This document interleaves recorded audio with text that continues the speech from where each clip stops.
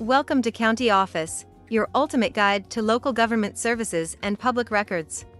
Let's get started. How to read GIS maps.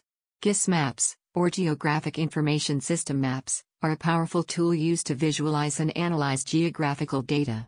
To read a GIS map, start by understanding the legend, which explains the symbols used on the map. Next, identify the scale, which shows the relationship between the size of the map and the real world. Pay attention to the coordinate system, which is used to locate points on the map. Finally, use the map layers to analyze the data and draw conclusions about the geography being represented. To learn more, check out these links which you can click in the description below, and feel free to comment your questions, we're here to help. Thanks for tuning in to our video. Please like and subscribe, and leave a comment below.